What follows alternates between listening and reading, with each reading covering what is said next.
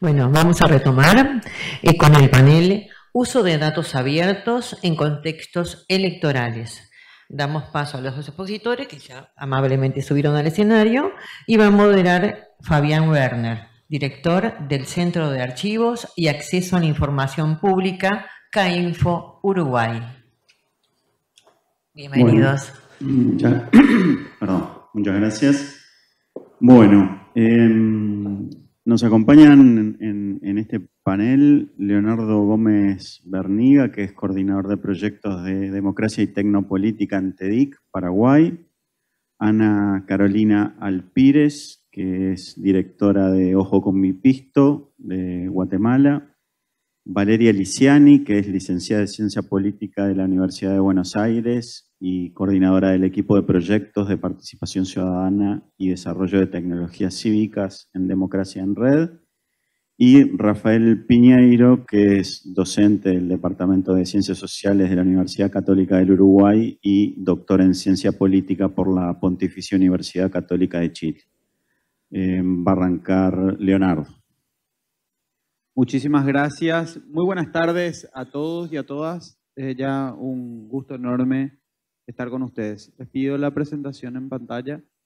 Eh, antes que nada, presento un poco qué es TEDIC. Eh, una organización de derechos humanos que trabaja derechos humanos y tecnología, que tiene prácticamente 11 años de fundación y creación.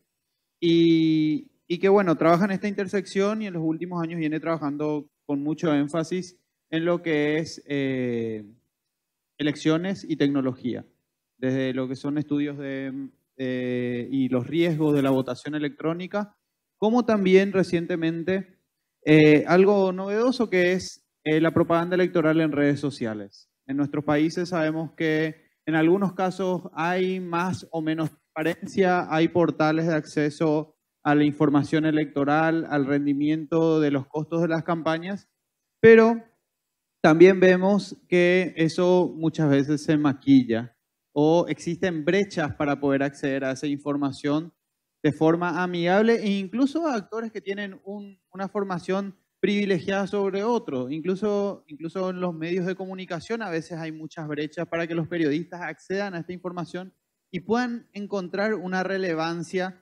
entre el dato de, de la rendición de cuentas electoral y cómo procesar eso eh, en forma más amigable.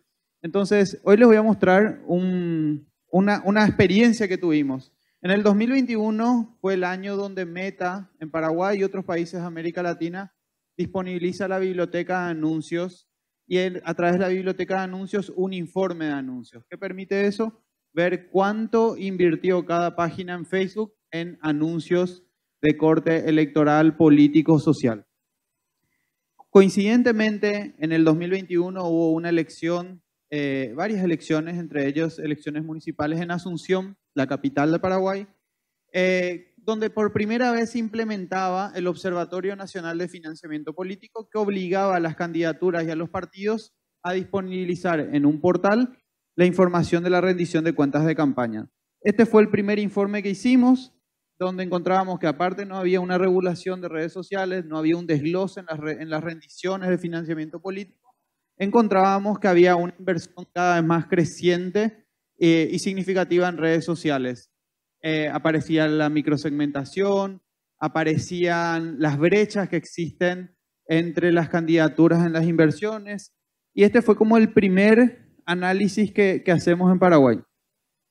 TEDIC desde hace varios años ya, eh, acá Andrés participó, en el, desde el 2015 aproximadamente viene haciendo eh, unos bootcamps de formación intensiva para periodistas, activistas de la sociedad civil, académicos, donde en, esa intersección entre derechos digitales y periodismo salen cosas maravillosas. Eh, entonces tomamos esa experiencia que veníamos haciendo mucho ya con datos abiertos, mucho con eh, otros temas vinculados a tecnología y derechos, sumamos esta disponibilidad de información que tenemos desde el 2021 en adelante y juntamos a medios de comunicación. El bootcamp venía siendo algo mucho más de participantes individuales. En esta ocasión, o con uno o dos medios, en esta ocasión dijimos, vamos a sumar a los bootcamp a los medios más grandes de Paraguay, vamos a pedirle a sus direcciones editoriales que comprometan a sus periodistas a participar y tratar de sacar materiales de relevancia comunicacional. Para entender esto que estaba pasando con un montón de disponibilidad de información. Y nos pasó esto. o sea, nos estalló en resultados, en formatos, en medios de comunicación. Estamos hablando de medios eh, que muchas veces son antagónicos entre sí, pero que encuentran la misma relevancia en lo que publicamos y experimentan no solamente un periodismo de gacetilla, que a veces es lo que demanda el tiempo que tiene un periodista, sino también encuentran los propios compañeros periodistas en redacciones del valor de dedicar un tiempo un poco más dedicado y por el otro lado también conectar con otras herramientas. Eh, y esto permite también un abordaje mucho más transversal de la mirada de datos abiertos y permite transversalizar una mirada de derechos humanos eh, en las coberturas, pero también en cómo de las organizaciones damos por sentado que lo que nosotros hacemos es importante o que se nos tiene que entender. No, o sea, el periodista tiene una visión de pirámide invertida donde lo relevante te lo disputas ahí y, y bueno, eso permite que, por ejemplo, encontremos mucho más abordaje sobre, por ejemplo, la libertad y expresión en redes, los riesgos de la desinformación, la tecnología que se involucra en las elecciones, cómo los datos se manejan en términos de afiliaciones y qué, personas quedan excluidas, pero también así em, la tecnología empieza a verse mucho más cercana al contexto electoral. En el 2023, este año, nosotros tuvimos elecciones nacionales muy cruzado por lo que está haciendo la permeabilidad del narcotráfico, el crimen organizado, la amenaza a periodistas, el dinero sucio en la política. Eh, hicimos un bootcamp, un primer bootcamp sobre financiamiento político, tecnología y elecciones. El resultado fue que los periodistas entusiasmaron y empezaron a encontrar el vínculo entre narcos y candidatos en términos de rendiciones de campaña. Y empezamos a extralimitar, no solamente decir es propaganda de redes sociales, sino que ese sea un elemento más o una excusa para que el periodismo encuentre todo un abanico de datos que pueda contar historias. Y este, fue este es uno de los ejemplos que tuvimos. Em, y acá vemos, estos son dos páginas, uno de los principales medios de Paraguay. Esto fue otra rendición, esto fue eh, a finales de diciembre del 2022, donde el, también en este diario Última Hora se, se empieza a desglosar por sector político, por partido, cómo fueron las rendiciones y además aparecen abordajes, por ejemplo, de los países donde corren los anuncios, a veces la extraterritorialidad de estos anuncios, eh, además de los montos y los contrastes, también se hace parte a congresistas que empiezan a, discutir la situación, se le obliga a la autoridad electoral a hablar sobre el problema. Eh, y entonces se instala una capacidad que antes estaba en la sociedad civil y los medios hoy, elección tras elección, lo implementan como un mecanismo de cobertura. Están atentos a los plazos, están atentos a las rendiciones y están atentos a contar las historias también desde una mirada de derecho. Ahí vemos cómo también este año el, abordaje fue transversalizado, por ejemplo, en una mirada de género, de cómo hay brechas en las inversiones de mujeres candidatas. Vemos, por ejemplo, la necesidad de una ley de protección de datos personales. ¿Qué tiene que ver financiamiento político, elecciones y que haya o no haya una ley de datos personales? Bueno, eso también aparece. Y aparece, bueno, la relevancia de las campañas en TikTok, entre otras cosas. Estos son algunos recortes nada más de, lo que implican estos procesos. Acá van a ver periodistas de distintos medios, activistas, integrantes de la sociedad civil, integrantes de organizaciones que trabajan por el fortalecimiento de la democracia en Paraguay. Eh, y creemos que es una iniciativa y una experiencia animable y replicable en cualquier lugar de América Latina, donde nuestras voces a veces son insuficientes, nuestra fuerza también se ve agotada Nuestros, nuestros recursos, nuestra forma de entender la tecnología no es el mismo lenguaje con el que otros podrían amplificar, pero bueno, nos invita también a pensar cómo extender estas brechas, eh, o por lo menos reducir las brechas y facilitar la transparencia electoral en contextos cada día más complejos. Muchas gracias.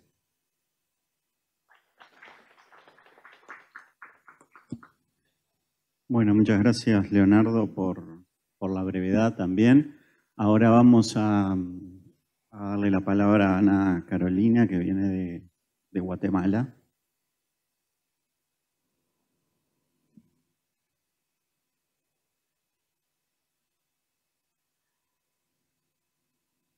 Bueno, y antes de comenzar eh, a presentarme, vengo de Guatemala, el país está en un gran relajo electoral. Te escucho a ti hablar de TikTok, el candidato que ganó las elecciones tuvo un gran apoyo en TikTok. Hoy el Tribunal Electoral anunció que cierra ya el proceso. Sabemos que Bernardo Arevalo va a asumir el 14 de enero, pero yo no sé decirles ahorita bajo qué condiciones. Yo quiero presentarme, mi nombre es Ana Carolina Alpírez, soy periodista y dirijo el sitio que se llama Ojo con mi pisto. Es un sitio que está eh, focalizado en los gobiernos locales. Lo que nosotros hacemos es fiscalizar el uso de los fondos públicos. Somos un sitio de nicho y ahorita en la cobertura electoral nos, nos centramos otra vez en las municipalidades. Combinamos también ese reporteo en calle, Buscamos estos datos abiertos, acudimos a portales públicos, presentamos solicitudes de información. Para nosotros, la ley de acceso a la información pública es una herramienta de trabajo. Enseñamos también a los vecinos a utilizar la ley y trabajamos mucho en la capacitación, en la formación de esta participación ciudadana. A partir de que comenzamos a trabajar con los vecinos, también mejoró la calidad informativa de estas fuentes de información. ¿Cuál fue el panorama en estas elecciones de 2023? Participaron 30 partidos políticos. En Guatemala los partidos políticos brotan como si fueran poporopos, palomas, palomitas. Fueron 30. De esos 30 se presentaron 23 candidatos. Y aún así, durante el proceso electoral, el Tribunal Supremo sacó a tres candidatos que tenían posibilidades de ganar o por lo menos podían quitar ese voto a la campaña oficial. Tuvimos 23 candidatos, también se eligieron 160 diputados, 20 diputados al Parlamento Centroamericano y 340 corporaciones municipales. Nosotros tenemos elecciones un solo día. No se parten legislativas, judiciales, legislativas, poder local, sino todo va junto. Y luego, si no se llega a ganar con esa mayoría, vamos a una segunda vuelta. La primera vuelta fue el 25 de junio, la segunda vuelta se llegó el 20 de agosto con mucha oposición del Tribunal, perdón, del Ministerio Público, logramos hacerla, y el 14 de enero va a asumir el nuevo presidente, el nuevo Congreso, y el 15 asumen las 340 corporaciones municipales. Eh, yo quiero hablarles a ustedes de las elecciones locales, que es lo que nosotros trabajamos se postularon 3.627 personas para 340 municipalidades. De ese número, solamente 257 eran mujeres. Y de esas 257, 12 se convirtieron en alcaldesas. De esas 12 alcaldesas tenemos una persona que posiblemente no asuma y que termine en la cárcel por un proceso vinculado al narcotráfico pudo participar aun cuando el proceso estaba abierto. Participaron 83 comités cívicos. El comité cívico es la única organización que puede postular candidatos locales, no puede postular ni presidente ni diputados.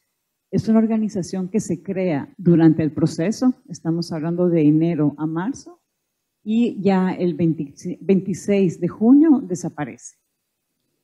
Eh, siete de cada diez alcaldes, bueno, 297 eh, alcaldes de los 340 buscaron la reelección y solamente 7 de cada 10 van a ser nuevos.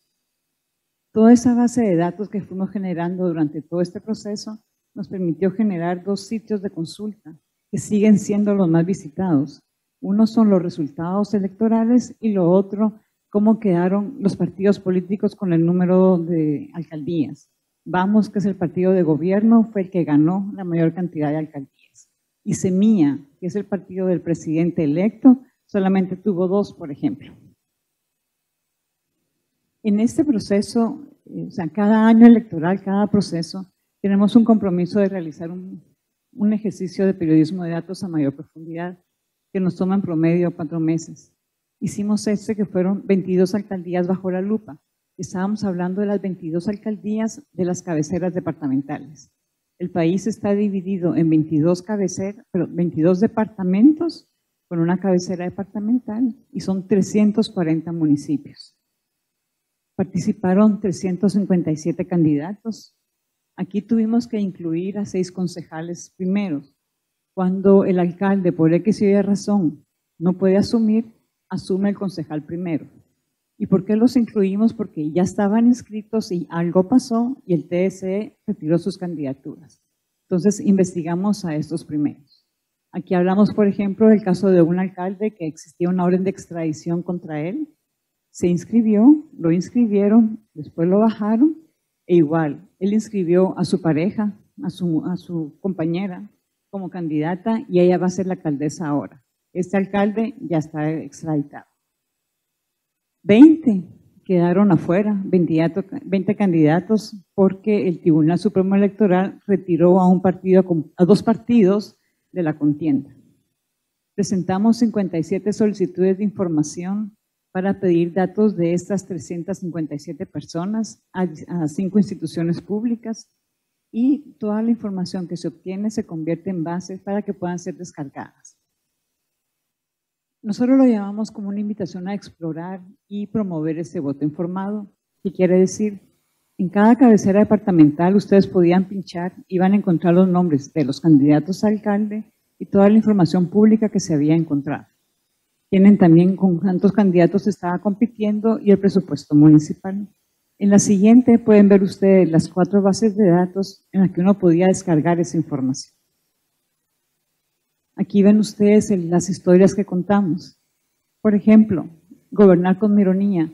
Cuando uno tiene 23 candidatos a alcalde, ¿con, qué, ¿con qué cantidad de votos va a asumir el alcalde? En esos, por ejemplo, son 13% Ahora, ¿en qué momento o cómo se gobierna un poder local con un 13% de representatividad? Las edades. Este alcalde tiene 86 años. Si hubiera ganado, tendría, entregaría el poder cuando tuviera 90 años, por ejemplo. Las planillas municipales, cuando uno empieza a investigar, resulta que los candidatos alcaldes que saben que no van a ganar, pero sí tienen posibilidad de integrar un consejo municipal. Entonces, ¿qué hacen? nombran a su esposa, a su esposo, a su hija, algún familiar para que entre al Consejo Municipal. Y de esa forma tienen la información que ellos requieren para cualquier otra cosa. O bien, el uso de las municipalidades como una tabla de salvación para los diputados. Legalmente, el salario de un diputado, un alcalde lo puede triplicar legalmente. Entonces, ¿cuál es el interés que migran de un grupo hacia otro? ¿Qué resultados tuvimos de esta investigación? El 59% de los alcaldes o exalcaldes enfrentaron alguna solicitud ante juicio. Quiere decir que eh, se cuestionó su función pública y hay un proceso legal. Hay que quitarle la inmunidad para poder ser investigados. Cuatro de cada diez alcaldes tienen una historia judicial que contar. Sus casos figuran en el organismo judicial. Cuatro de cada diez han sido proveedores del Estado. La, ley electoral, cada proceso electoral se cambia y antes un proveedor del Estado tenía prohibido ser candidato, ahora se permite, toda vez no haga negocios con su propia municipalidad. Pero de esto se desprenden otras historias. El día de mañana vemos cómo la empresa de este alcalde no trabaja acá, pero sí en el vecino. Y el vecino le manda a su empresa a trabajar en lo local. El 20 de los 22 alcaldes querían reelegirse, estamos hablando de las cabeceras departamentales, que son las que tienen mayor recurso. Al final solamente lo lograron seis. Y creemos que es mucho de ese trabajo del voto informado. Ahora, ¿qué es lo que ha pasado a lo largo de esos tres procesos? Y quiero centrarme propiamente en los datos, que es lo que nosotros buscamos y insisto mucho en la ley de acceso a la información. La nuestra es una ley del año 2008 que estaba trabajando bastante bien, pero en los últimos años las cosas están cambiando. Primero, ha habido un cierre de las fuentes informativas. Lo otro que es muy importante, una negativa también a proporcionar la información que se solicita. No la dan, nos dan la información parcial. Cuando se requiere hay que presentar recursos y luego de estos recursos, si queremos también seguir eh, un grado una instancia superior, requiere abogados y pagos que no, no los podemos cubrir como, como periodistas. Y hablo del tercero, que es la toma de instituciones. Cómo poco a poco las mismas, las mismas personas que ahorita están manejando todo este proceso electoral fueron tomando las instituciones que antes eran un aliado para cuando hablábamos de acceso a la información pública. El Ministerio Público, por ejemplo, ahora nos exige, si yo quiero solicitar los datos de un alcalde en función pública, o llevo una orden de juez, o llevo una carta de este alcalde donde autoriza que yo pueda investigar. Y luego también nos limitan qué es lo que nos puedan entregar. Hemos hecho tres ejercicios de periodismo de datos en tres procesos diferentes y cada vez la información es menos. En la primera, era otra administración, sí logramos todo lo que se requería y en los otros dos procesos ya no. Esto nos llevó a presentar una acción de amparo en contra de la fiscal general. Eh, fueron dos años, perdimos la acción de amparo queríamos llevarlo a una instancia superior para poder llevarlo a, nivel internacional, pero eh, ya, económicamente pues ya no podíamos seguir con ese proceso. Entonces ahí quedó. El Procurador de los Derechos Humanos. En Guatemala, el Procurador es el garante de la ley y tiene la Secretaría de Acceso a la Información Pública, que siempre había sido un aliado cuando hablábamos de información. ¿A qué me refiero? Por ejemplo, esa acción de amparo que presentamos, tuvimos el acompañamiento legal de la institución para poder presentarlo. Hoy ya no. Es un nuevo procurador que se eligió bajo este, este gobierno. Ya no tenemos ningún apoyo acá. Yo les digo, la ley de acceso a la información es una herramienta de trabajo, pero que se busca debilitarla. ¿Y por qué les digo? Cierro porque no pasa nada. ¿Qué quiere decir? algún funcionario incumple la ley y no pasa nada. Alguna oficina de información pública no da la información y no pasa nada. Entonces, si no pasa nada, las instituciones se debilitan y los funcionarios se aprovechan de ello. Solamente cierro, esta es nuestra frase, el pisto de Guatemala es nuestro pisto, es ojo con mi pisto y muchas gracias.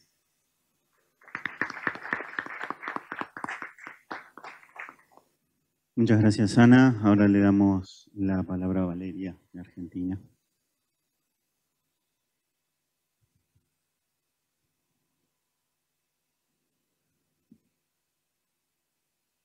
Bueno, hola a todos y todas. Mi nombre es Valeria Liciani, yo soy la coordinadora de proyectos de democracia en red y hoy les voy a contar sobre un proyecto que se llama Me Representa. Me representa es una plataforma que busca sistematizar y compilar toda la información relativa a las elecciones de 2023. ¿En qué contexto? Eh, empiezo con un meme para contar algo que nos pasa mucho en Argentina, pero creo que pasa en toda la región. Hoy en día, si una, una se quiere informar, quiere saber dónde votar, ¿Qué pasa si no votás? ¿Qué pasa si votás en las primarias pero no, no, perdón, qué pasa si no votaste en las primarias pero querés ir a votar a las generales? Tenés que sentarte y googlear. ¿Querés saber qué propone un candidato?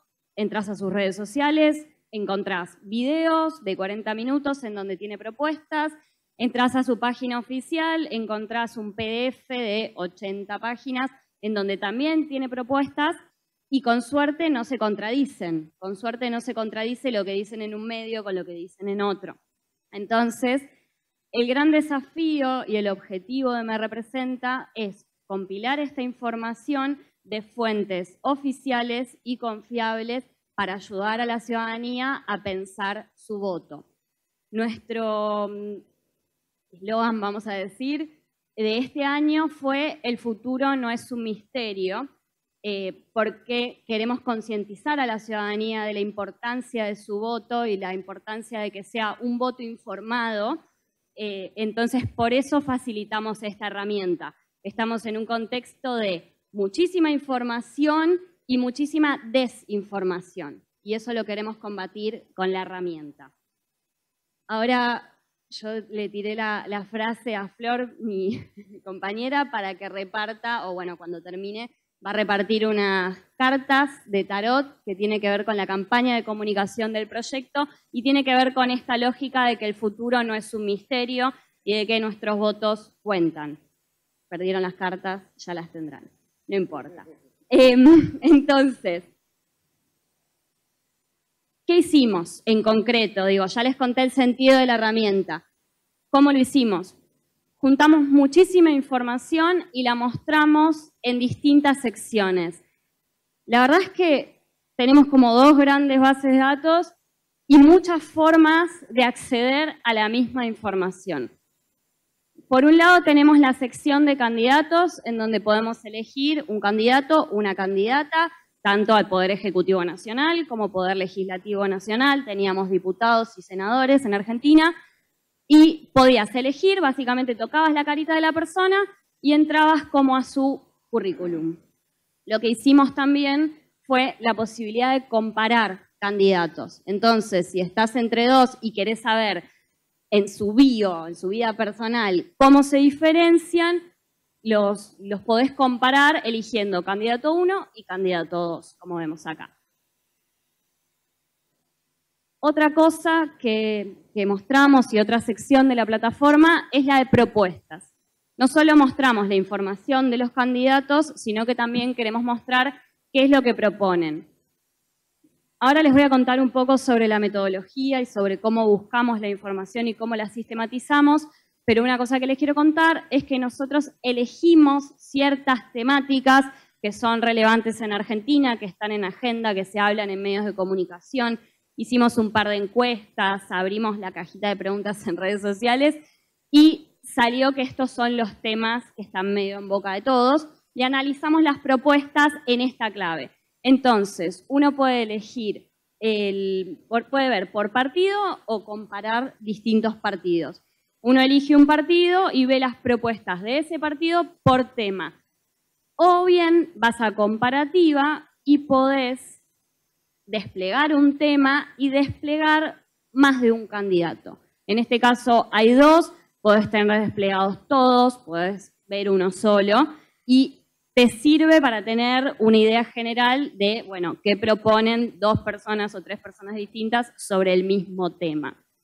Ahí ven que hay dos botones en la propuesta.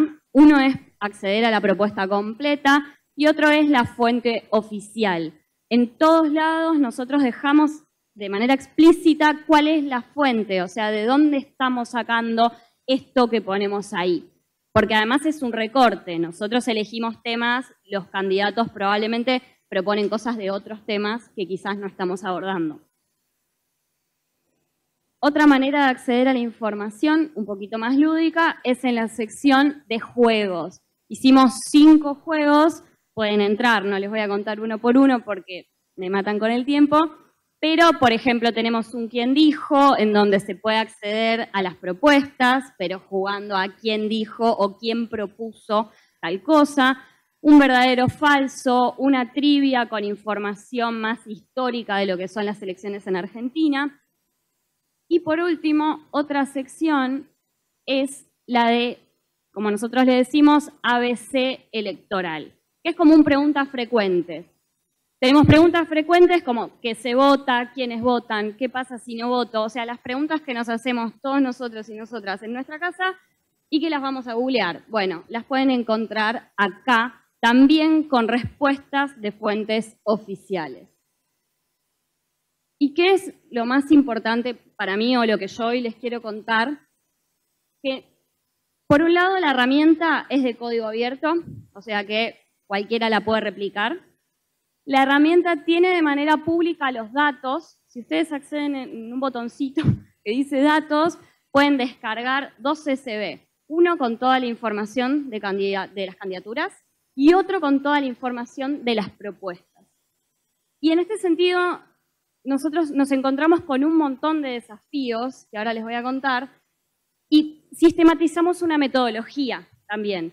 Buscamos que sean fuentes oficiales, buscamos mostrar la información de manera rigurosa, pero sencilla para la ciudadanía, Y creemos que por eso también es una metodología abierta lo que brindamos.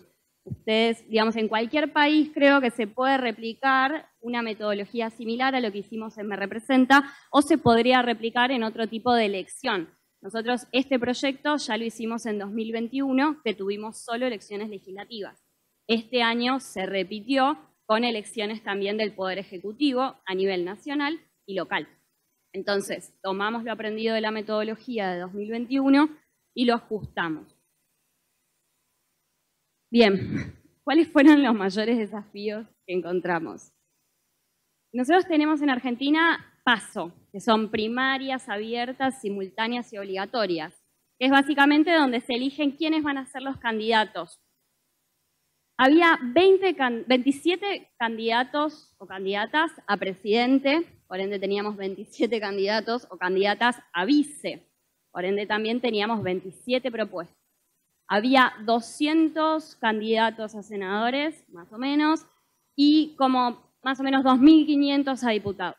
Estamos hablando de como 2.800 personitas sobre las que teníamos que sentarnos a buscar información y muchísimas personas que no, no existen en Internet, no tienen una huella digital es muy difícil rastrearlas.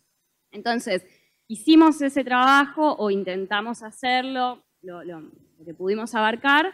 Seguimos algunos estándares, trabajamos en alianza con SocialTIC y ellos nos, nos pasaron un estándar que nosotros adaptamos a nuestro caso. Entonces, toda la información de nuestros candidatos está sistematizada de la misma forma. Es decir, tenemos la misma información para los candidatos que buscamos información y todas sigue ciertos criterios. ¿Cómo poner las redes sociales? Bueno, que siempre tenga una barrita en tal lugar, que termine, digamos, como tratar de, de tener un estándar que se pueda replicar también. Y otro de nuestros grandes desafíos fue trabajar con las propuestas. Les conté que teníamos 27 precandidatos a presidente, por ende teníamos 27 propuestas que mostrar. ¿Qué hicimos? Y el mayor desafío era mostrar fuentes oficiales. ¿Y de dónde salen las fuentes oficiales? Nuestro primer impulso fue ir a las propuestas que se presentan ante la Cámara Nacional Electoral, en donde todos los partidos están, o todas las listas, están obligados a presentar una plataforma electoral. Lo que nos encontramos es que en la mayoría de los casos, estas plataformas electorales resultan más declaraciones de principios y no tanto un plan de acción concreto de cómo se va a hacer lo que se quiere hacer encontramos que una propuesta es mejorar la educación. Bueno, no me estás diciendo nada, la verdad. Y ahí descubrimos que, claro, la verdad es que los partidos o las listas no priorizan lo que presentan ante la Cámara Nacional Electoral. Lo ven como un requerimiento más al momento de presentarse a elecciones, tienen que dar un check, un checklist larguísimo, y van y presentan el primer PDF que más o menos pudieron escribir. No es así en todos los casos, pero sí fue en la mayoría de los casos. Entonces, ¿qué hicimos? Como primera fuente usamos la página web del candidato o candidata. Si no había nada en la página web, ¿qué nos pasó? Fuimos a la página del partido. Y si no había nada en la página del partido, ahí sí íbamos a la Cámara Nacional Electoral. Y nos encontrábamos con esto. Estos tres son cosas que ni siquiera se pueden copiar y pegar. O sea, es una foto eh, de, de algo impreso. Entonces nosotros nos tuvimos que sentar, leer las propuestas, sistematizarlas por tema y subirlas a un CSV. Un CSV que hoy en día está disponible y que también hicimos un llamado abierto a la comunidad de datos que quiera entrar y jugar con la data. Si quieren hacer una nube de palabras o lo que se les ocurra, seguramente van a ser mucho más creativos que yo. Eh, y nos parece que esto es importante, poder disponibilizar la información por un lado a la ciudadanía, pero por otro lado a la comunidad de datos que pueda acceder a la información que quizás no va a poder procesar si está toda en PDF, tenerla en un formato más feliz. Y para cerrar, hay dos caminos, yo tenía que cerrar con un meme, hay dos caminos y uno es seguir como seguimos y otro es tomar todos estos aprendizajes, todas estas dificultades con, con las que nos encontramos y tomarlo como un aprendizaje y como una oportunidad. En ese sentido, los invitamos a entrar a nuestra plataforma, a descargar los datos, a jugar con esos datos, a encontrar patrones, cualquier hallazgo que encuentren eh, y que nos quieran compartir, y sobre todo a replicar la herramienta y la metodología en sus países o en la elección que quieran replicar. Así que muchísimas gracias. Ay, era un GIF, claro. Bueno. Muchísimas gracias. Ahí está mi mail, mi cuenta de LinkedIn y las redes sociales de Democracia en Red por cualquier.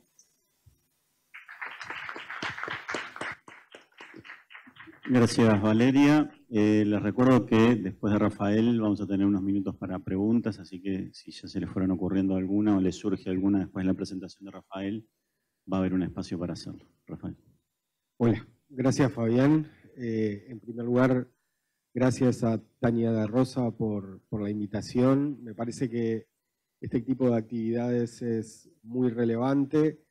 Eh, yo iba, en, principio pensé en contar la experiencia que tuvimos con el trabajo que hicimos en 2014 eh, con el financiamiento, con las declaraciones de, de los candidatos en la elección nacional de 2014 en Uruguay. Fabián lo hizo para 2009 antes, nadie lo hizo para 2019, eh, pero como es una cosa que está vieja, eventualmente si la quieran ver está todavía a disposición, eh, es un trabajo para tratar de, ver algunas cosas en términos agregadas sobre cómo son esas declaraciones, eh, ver problemas que tienen en esas declaraciones, si tiene una herramienta de visualización de las donaciones privadas que permite hacer redes entre candidatos que están unidos por un mismo donante o donantes que están unidos por un mismo candidato.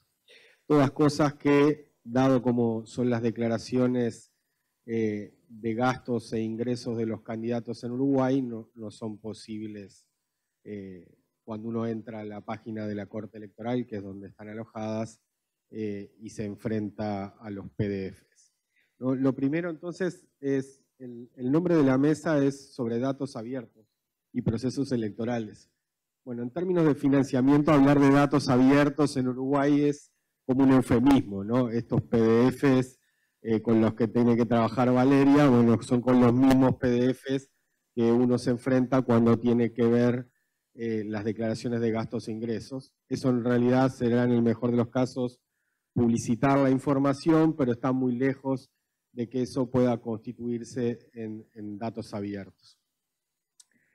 Ahora, es, sustantivo pensar en cómo esta revolución de los datos, sea tanto en términos de aumento de la cantidad de datos como en términos del aumento de la capacidad de procesamiento, impacta sobre los procesos políticos y, los procesos electorales en particular. Las campañas políticas obviamente tienen que pensarse como procesos de información, y, acá, digamos, hablo más desde, el lado de, investigador sobre procesos electorales, las campañas electorales son procesos de comunicación.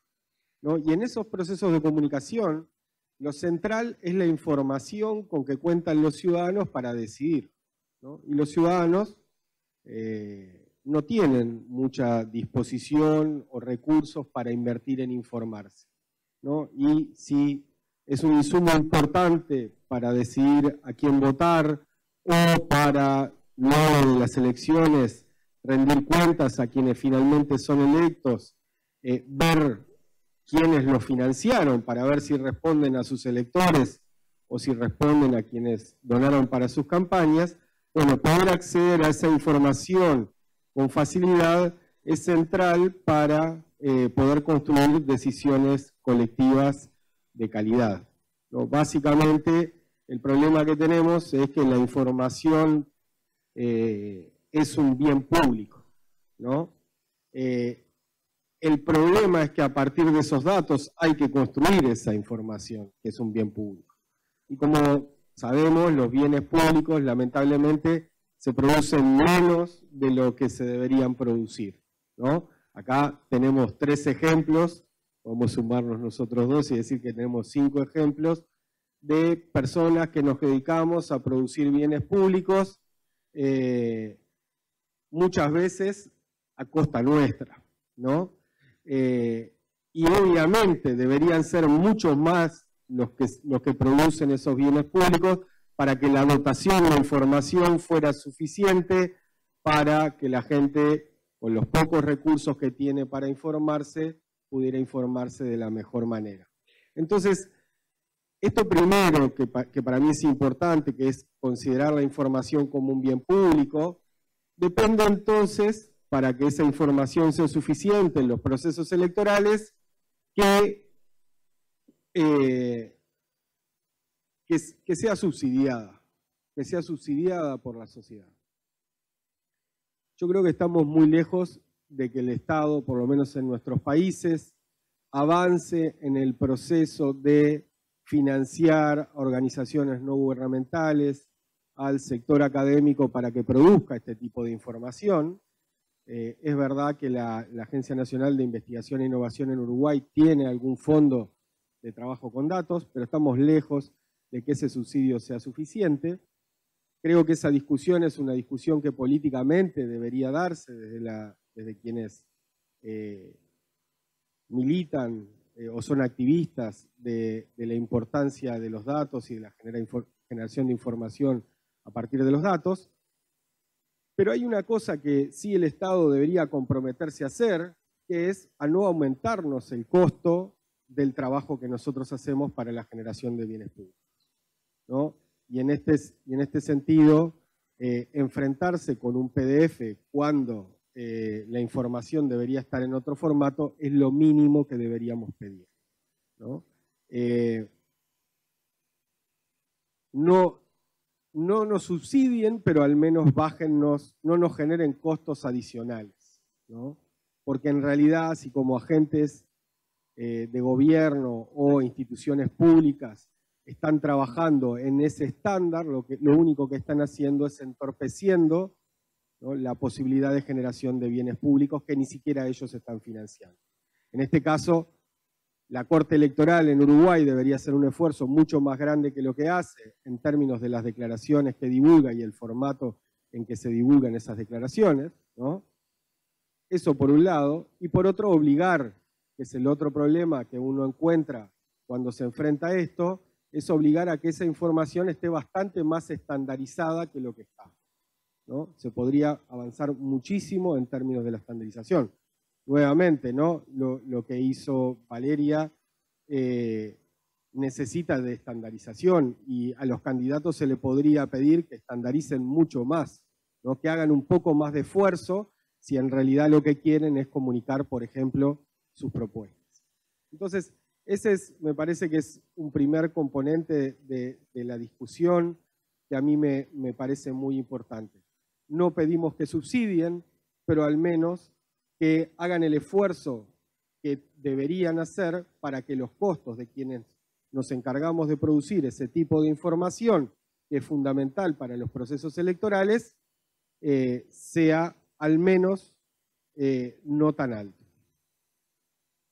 Lo segundo de lo, que, de lo que yo quería hablar es de por qué es necesaria la participación de la academia, de la sociedad civil y de la prensa en estos procesos eh, de generación de información en las campañas electorales.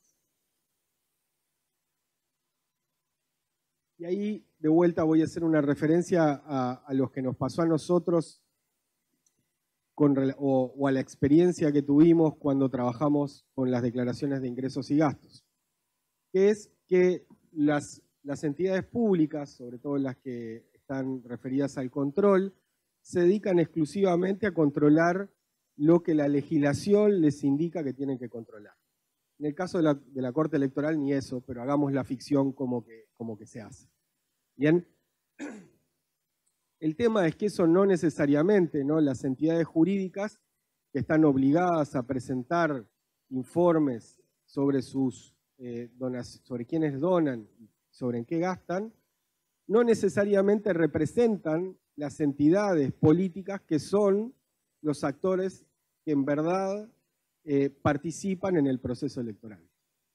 Eh, simplemente para dar un poco de contexto con esto, eh, los que están obligados a presentar declaraciones de gastos e ingresos en las campañas electorales son las fórmulas presidenciales, las listas al Senado y las listas a diputados. ¿No? Nosotros tenemos una circunscripción nacional para la elección de senadores y 19 circunscripciones departamentales para la elección de diputados. Esto quiere decir que hay algo así como 500 y algo de agentes que tienen que declarar ingresos y gastos. Ahora, esos agentes que son autónomos para eh, la Corte Electoral, en realidad no lo son en términos políticos y tampoco lo son para la gente, para los ciudadanos. ¿no? Al ciudadano no le interesa solo cuánto gastó la lista diputado de la fracción tal, del partido tal, en la circunscripción tal. Al ciudadano lo que le interesa es saber cuánto una fracción nacional de un partido gastó en las elecciones o quiénes le pusieron a esa fracción nacional. ¿no? Ahí, para proveer esa información, la Corte Electoral no lo va a hacer porque la Corte Electoral no, no, ni siquiera toma en cuenta esa estructura de coordinación política que existe, pero sí es una información relevante, tanto para los ciudadanos, que los únicos que podemos procesar esa información porque tenemos algún tipo de interés o creemos que esa información tiene utilidad para los ciudadanos, somos quienes eh, agarramos esa información eh, de datos abiertos o esa información, digamos, pública y la convertimos en una manera que tenga sentido para las personas. ¿Qué quiere decir esto? El trabajo que hace la Corte Electoral puede llegar a ser eh, razonable para sus cometidos, pero claramente es insuficiente para las necesidades de información respecto a eh, el tema que en este caso le toca, le toca controlar. Entonces, simplemente para, para cerrar estas dos cuestiones. Eh, en términos de, síntesis, no sé cómo voy con el tiempo, líquido. Eh, en primer lugar, me parece que hay que exigir mucho más que lo que exigimos, sobre todo en temas sensibles, ¿no? y todos estos temas que hacen a los procesos electorales, el estándar de lo que hacen los gobiernos y los estados está muy por debajo de lo que, de lo que debería ocurrir y eso genera un aumento de costos que claramente eh, parece orientado a perjudicar la generación de información mucho más que a desarrollarla. Y en segundo lugar, es una actividad, la de, generación de información, más allá de la que provee por defecto el Estado, las agencias públicas, porque muchas veces las entidades jurídicas o reconocidas jurídicamente en los procesos electorales no son necesariamente las que tienen sentido político y sobre las que hay que generar información.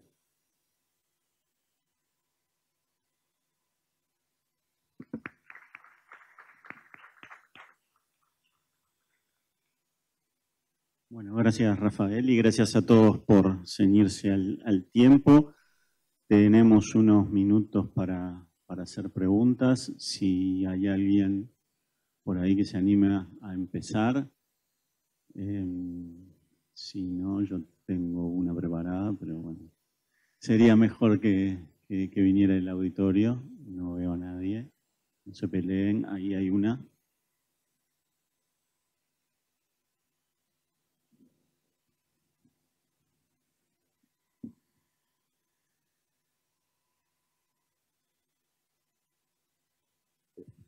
Muchas felicidades a todos, muy interesante lo que plantean. Me llamó mucho la atención lo que planteaba Valeria en relación a una especie de estándar en el tema de datos electorales que habían tenido una colaboración con Socialtic.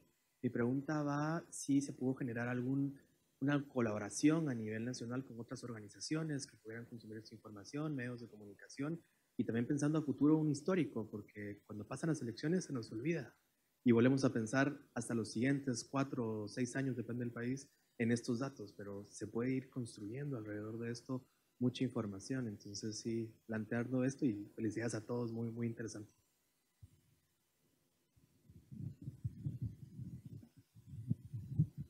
Hola, a mí se me ocurren preguntas para cada uno, pero como para no eh, tomarme el tiempo, em, me interesó mucho lo que contaban de TEDx sobre el tema de eh, lo que se reporta en, en gastos, por ejemplo, en redes sociales Eh, yo también estuve mirando, en Chile candidatos eh, presidenciales que reportan cero gasto, lo cual es poco creíble.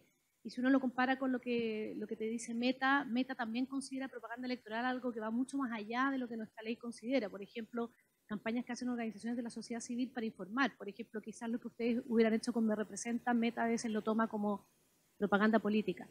Em, entonces, un poco cómo, lo, cómo logran ver eso, porque además eh, yo he visto que muchas veces se, como que se externaliza la campaña digital, lo hacen eh, agencias que no, no transparentan cómo hacen esas campañas, sino que fondo dices, me gasté 100 en esto, pero no dices qué hiciste. Entonces, si ustedes tienen como esa información o lograron usar esa información. Y lo otro que también me parece interesante, cruzándolo con la pregunta anterior, es nosotros tenemos obligación en Chile de los candidatos presidenciales de eh, dar un programa al servicio electoral, pero no, por ejemplo, candidatos al Congreso. Entonces, ¿cómo se podría hacer después quizás estandarizar esa información de qué proponen y cruzarlo después quizás con sus votaciones en el Congreso o los, los proyectos que proponen para ver si hay sintonía eh, con, lo que, con lo que dicen y lo que hacen? No sé si ese desafío también lo tienen por ahí visto, porque me parece también como bien interesante para rendir cuentas. Gracias. Si no hay nadie más, ya pasamos a responder estas dos y eventualmente, si nos queda tiempo, alguna otra. Valeria, ¿querés empezar vos?